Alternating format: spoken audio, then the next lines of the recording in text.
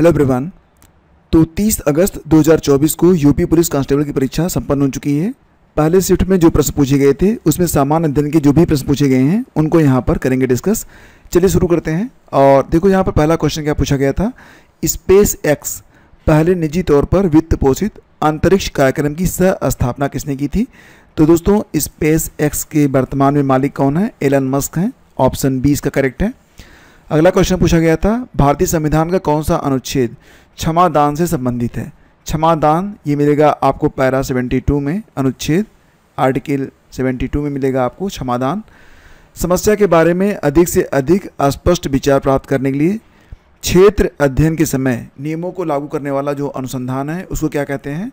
तो देखो, एक तो यह आउट ऑफ़ सिलेबस क्वेश्चन कई बार पूछा गया है और फिर भी यहाँ पर जो उत्तर है वो ऑप्शन ए है। अनुसंधान विश्लेषण, ये इसका उत्तर बनेगा। फिर अगला क्वेश्चन है कि केंद्रीय कृषि विश्वविद्यालय कहाँ पर स्थित है?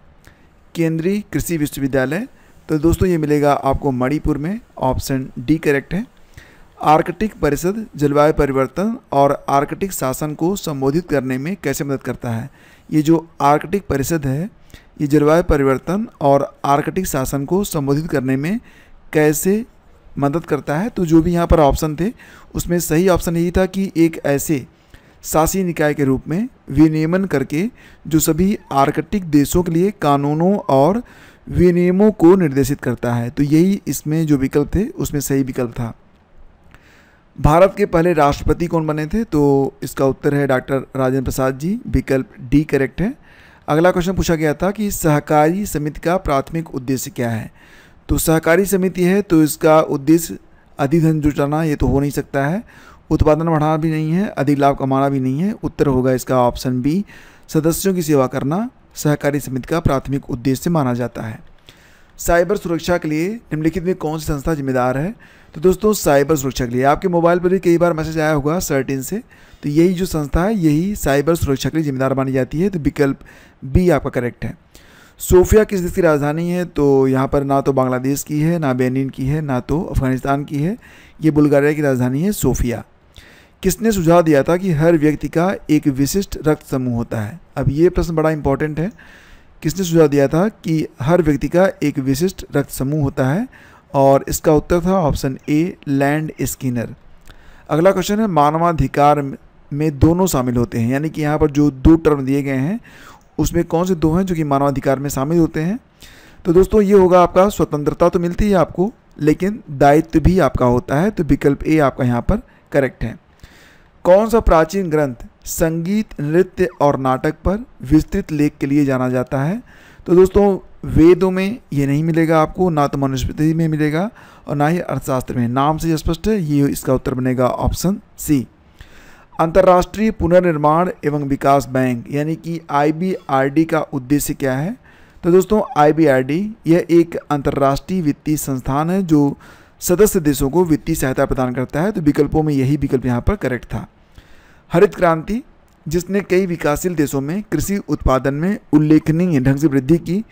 तो हरित क्रांति में क्या शामिल था? उच्च उपज किस्म के बीज शामिल थे और रासायनिक उर्वरक शामिल था, यानी कि इसका उत्तर ऑप्शन सी है। प्रधानमंत्री जनधन योजना की शुरुआत कब हुई थी? तो दोस्तों, ये जो योजना थी, ये शुरू हुई थी 28 अगस्त 2014 को। हाल ही में इसकी जो दसवीं वर्षगांठ है, मनाई गई है 28 अगस्त को ही तो ये भी आप याद रखिएगा। निम्नलिखित में कौन सा देश भारत के साथ भूमि साझा नहीं करता है? तो म्यांमार तो करता है, बांग्लादेश भी करता है, चीन भी करता है, मालदीव नहीं करता है तो ये हमारा बनेगा आंसर। फिर अगला क्वेश्चन है, ग्रीन फाइनेंस किस तरह से सतत विकास का समर्थन करता है? तो ग्रीन फाइनेंस क्या होता है? पर्यावरण के अनुकूल परियोजनाओं के लिए वित्तीय संसाधन उपलब्ध करा के ग्रीन फाइनेंस सतत विकास का समर्थन करता है। तो इसका उत्तर, जो भी विकल्प थे, उसमें यही वाला उत्तर सही था। वाइट गुड्स पर लगाया जाने वाला जो उच्चतम मतलब कि हाईएस्ट जीएसटी दर है, वो क्या है? तो दोस्तों, जो वाइट गुड्स होते हैं, जो लग्जरी आइटम होते हैं, उस पर जो जीएसटी लगाई जाती है, वो मैक्सिमम है 28 परसेंट की, यानी कि इसका सही जवाब ऑप्शन बी है। अंकटाड का फुल फॉर्म पूछ लिया था। अंकटाड का फुल फॉर्म पूछा था। United Nations Conference on Trade and Development, ये पूछा था। तो अंकटाड के बारे में पढ़ के जाइएगा। सदगति पुस्तक किस पर, जिस पर एक फ़िल्म बनी है। सदगति, आपको याद होगा, आपने पढ़ा होगा, ये जयशंकर प्रसाद की एक कहानी है सदगति। तो ऑप्शन इसका डी सही है। और किस पूर्व भारतीय प्रधानमंत्री को भारत रत्न नहीं मिला था?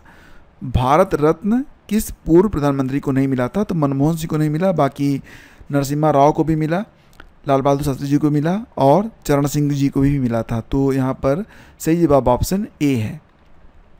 भारत में प्रथम जनगणना किस शासक के समय आयोजित की गई थी तो लॉर्ड मेयो के समय? इसमें उत्तर है ऑप्शन डी। और किस युद्ध से भारत में ब्रिटिश औपनिवेशिक शासन की शुरुआत हुई? तो शुरुआत तो हो चुकी थी प्लासी के युद्ध से तो इसका उत्तर यही होगा। वर्चस्व स्थापित होता है बक्सर के युद्ध से तो सत्रह सौ सत्तावन में यह युद्ध हुआ था और इसी से औपनिवेशिक शासन की शुरुआत हुई थी। तो विकल्प सी आपका सही होगा। शहरीकरण का एक महत्वपूर्ण पर्यावरणीय प्रभाव क्या होता है? तो बढ़ी हुई हरियाली, ये तो गलत होगा। पानी की गुणवत्ता में सुधार ये भी नहीं हो सकता। ना तो वायु प्रदूषण में कमी आएगी तो सही जवाब बनेगा उच्च कार्बन उत्सर्जन, ऑप्शन बी करेक्ट है। रैंसम वेयर शब्द का अर्थ क्या होता है? तो जो भी विकल्प थे, उसमें सही था कि ऐसा सॉफ्टवेयर जो फाइलों को पहले तो एनक्रिप्ट कर देता है और फिर फिरौती की मांग करता है। तो ये होता है रैंसम वेयर प्रथम विश्व युद्ध की शुरुआत कब हुई थी, ये प्रश्न भी आया था तो 1914 में और ये समाप्त हुआ था 1918 में।